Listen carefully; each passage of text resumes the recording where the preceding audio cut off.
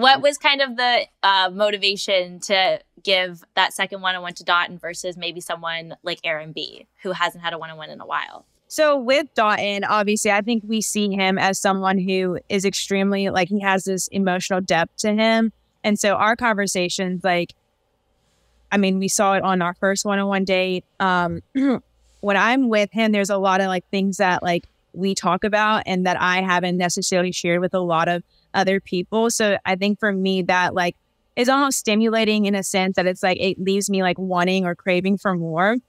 And so um following the bungee jumping date and then heading into New Orleans.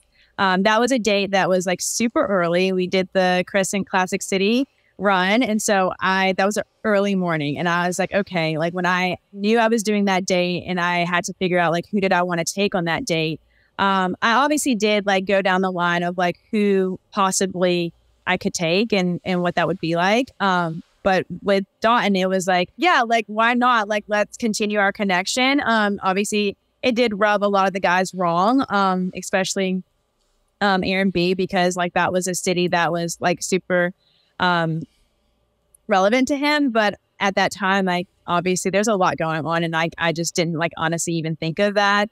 But yeah, with with Dotun, it's just like there's there's something special, and it was a special time that we had, and we got to spend in New Orleans together. So yeah, I'm not regretful for giving him two one on ones back to back. Mm-hmm.